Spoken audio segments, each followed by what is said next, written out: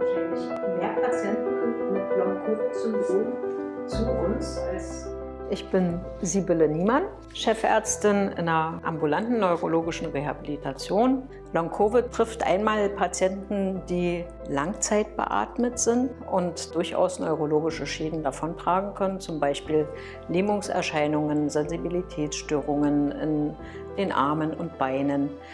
Es können aber auch Patienten betroffen sein, die nur ambulant behandelt werden, die leichter betroffen sind, aber trotzdem Folgeschäden davon tragen, wie zum Beispiel, dass Taubheitsgefühle auftreten oder sie gar nicht richtig fühlen, was sie in der Hand haben.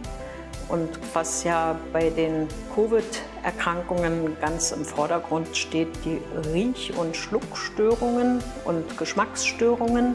Wenn man zum Beispiel Langzeit beatmet ist und die Beatmung im Rachen hat, dass natürlich dort Irritationen stattfinden, die therapiert werden müssen.